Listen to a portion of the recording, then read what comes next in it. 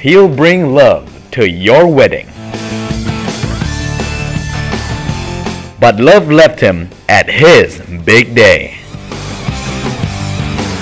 When the weekend rolls, It even left him for another guy.